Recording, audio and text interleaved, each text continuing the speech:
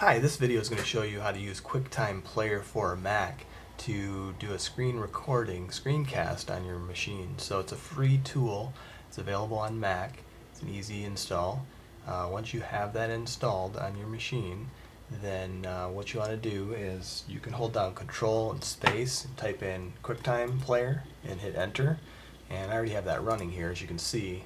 Kind of have to have that running in order to do the screencast. Um, and what you'll see when you open it, you may or may not see anything pop up, but up in the upper left hand corner you'll see the menu pop up. And what you can do to get a screencast started is click on File and choose New Screen Recording. Right now I'm actually recording this using that software, so I wouldn't be able to click on that, but I can show you what it'll look like. If you just choose New Audio Recording, let me show you there, the screen recording looks just the same. And when you have this up, just click on this record button. What will happen is you'll see up in the upper right hand corner, you'll see an icon for a stop. And so when you're completed with your screencast, when you've uh, um, wrapped that up and you're ready to stop, just go ahead and hit stop. It'll stop it.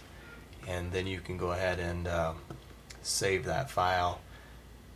And uh, if you just export it as 1080p, or actually I think there's 4K that's available on there, one of the highest resolutions.